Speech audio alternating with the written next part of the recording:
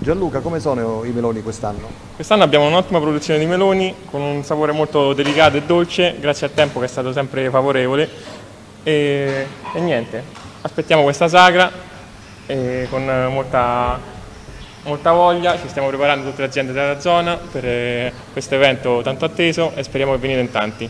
Siete contenti oltre che della produzione anche delle vendite quest'anno?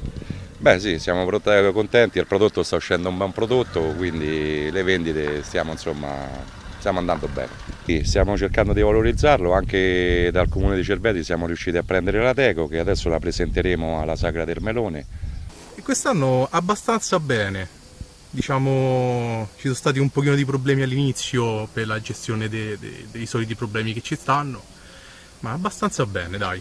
Sicuramente, sì, sicuramente, sicuramente. La sagra sarà una bella manifestazione, sarà più bella penso del litorale come è stata l'anno scorso, sicuramente quest'anno sarà ancora meglio. Sarà.